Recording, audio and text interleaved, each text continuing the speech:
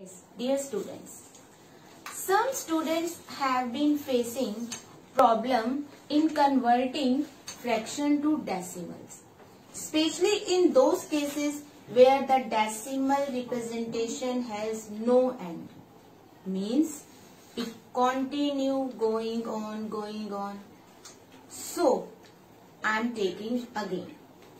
So I have two examples 17 by 25 and 3 by 11 and we will take one by one.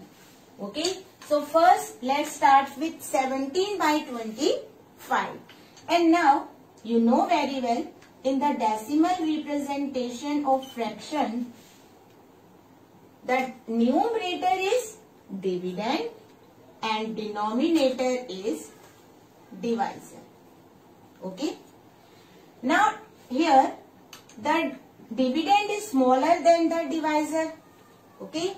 So to convert to make it larger you have to write 0 when you write 0 here you have to write decimal in the quotient. And for the convenience you may write 0 here. Clear? Now 25 will be divided by 25 let's check with 6 yes. It will be divided by 6 that is 150 and now 20 is the remainder. Again it is less than 25 or remainder should always be less than the divisor. It means your division is right. Now you have to write 0 here and this 0 you will write here. Clear? Means you put this 0 here now. And now it becomes 200. If in any case, if you write 2 0, for example, if there is 2 remainder, then you have to write 1 0. It means 20. 20 is again less than 25. Then you have to write one more 0 in that case, it means you have written two zeros. If you are writing two zeros, then you have to write zero in quotient also. Clear? So now 200 be divisible by 25? Yes. 200 is the 8th multiple of 25. 8, 25, 8 the 200. Clear? Now the decimal representation of 17 by 25 is 0.68. It means its decimal representation has finite number of digits. Means it has end. Clear? End.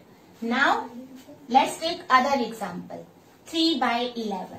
So, 3 is the dividend and 11 is the divisor and you know if the dividend is less than divisor then you have to write 0 here and if you write 0 here you have to write decimal in the quotient. Clear?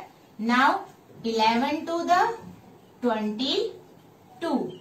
10 minus 2 8. Now you have to write 0 here and write this 0 here. Shift this 0 here as you do for division. Clear? You always write the another number here. Now it will be divided by 7. 11 7 the 77. 10 minus 7 3. Again you have to write 0 here and this write this 0 here. Now it is 30. Now again it is divisible by 2. 11 to the 22. 10 minus 2, 8. Now write one more 0. 11 7 the 77. Can you see? This division is repeating again and again. Means it has no end. It has no limit. It keep going on. Always in quotient 27, 27, 27, 27 will come. So such type of decimals which have no end. Means if you write its decimal representation like this. 0.2727 dash dash dash dash. So such type of decimals which has no ends are called non-terminating decimals. And such type of decimals which have end means which have finite number of digits. Such type of decimals are called terminating. From its name you can easily observe that termination means end which has end. So that's why we call it as terminating decimal and it has non-terminating decimal because it has no end or no limit. Is that clear? So now you have understood what are terminating and what are non-terminating decimals. But only by division you will come to know that which decimals are terminating or non-terminating. But you can observe even without actual division. Without division means without converting fraction to decimal, you can easily tell that which fraction or which decimals are terminating and which are non-terminating. And now you are thinking, ma'am, how ma'am? Yes, you can tell. Now I am telling you. It is very easy to tell that which fractions have terminating representation or non-terminating representation even without division. Yes. See, uh, I am taking the example of 7 by 25 and 17 by 50 like this. And one more example. 9 by uh, 23 yes you can say 23 any other number?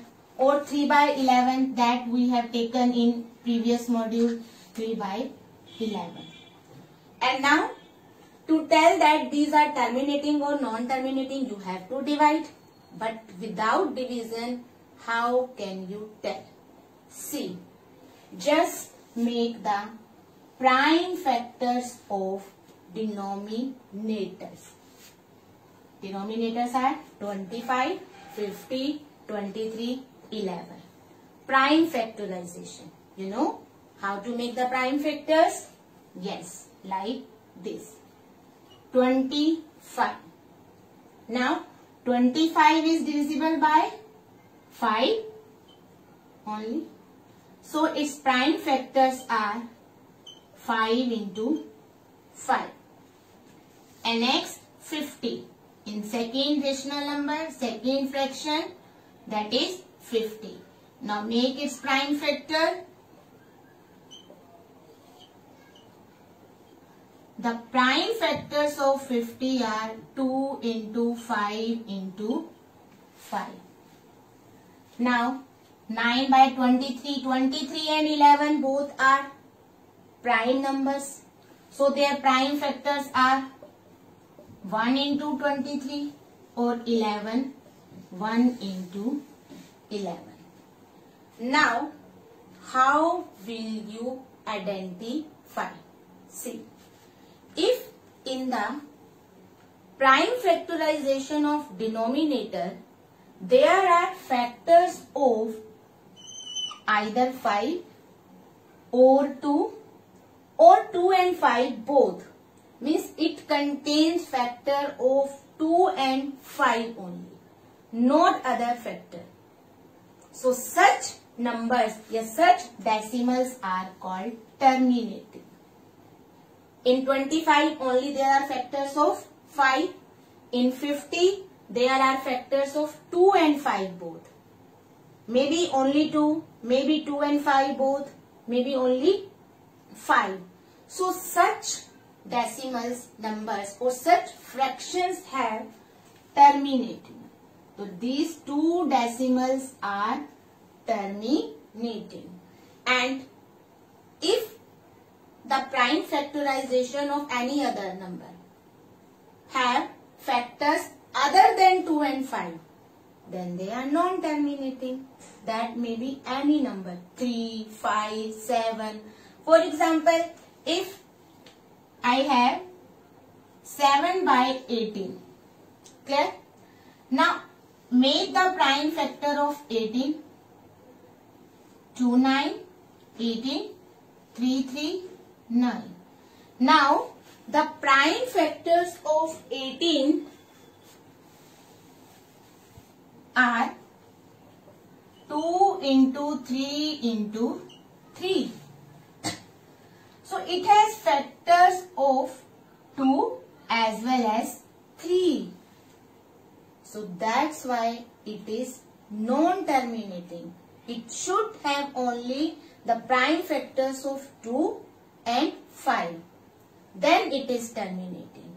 Either only 2 or 5 or 2 and 5 both. So that decimals are called terminating or that fractions have terminating representation and which have factors other than 2 and 5 like in 18 and 18 other than 2 there are factor of 3 also.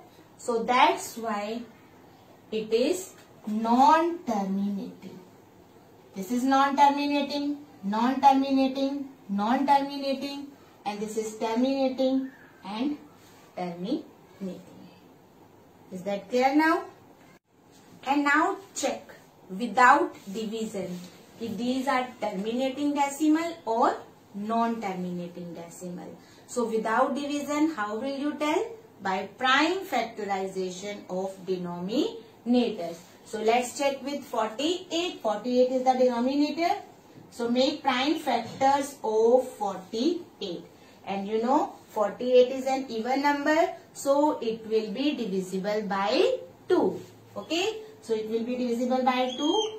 That will be 40, 24. If you are unable to do the division directly here, you can do in rough work. Okay. Now, again it is divisible by 2. 12. Now, again it is divisible by 2. 6. Now 2 3 1 the 3. Now the prime factors of 48 are 2 into 2 into 2 into 2 into 3. So it has factors of 2 as well as other number that is 3. It means it is non-terminating. If it has factors other than 2 and 5, then it is non-terminating. If 3 will not here, if 3 is not here, then you can say it is terminating. Or instead of 3, 5 is here. In that case, then it will also be terminating. But in this case 3 is here. So due to this 3, this fraction has non-terminating representation. So it is a non-terminating decimal. When you convert 7 by 48 to decimal number by long division method, it will be non-terminating. Is that clear? It means in this cases, in that cases, you have to uh, write your answer up to two or three places or you can put the bar that I have told you in previous module. Clear? And 3 by 32. Now check whether it is terminating or non-terminating. Make the prime factor of 32. Now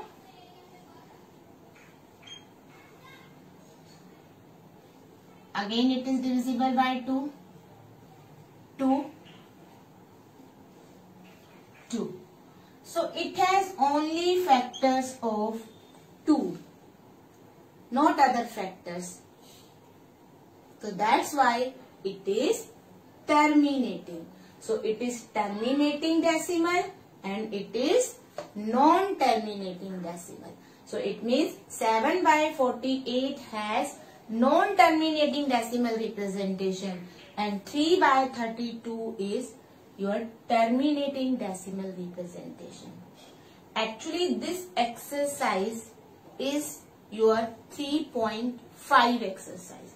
Means belongs to third chapter. But some students are facing problem in this. So that's why I have taken this now. Okay?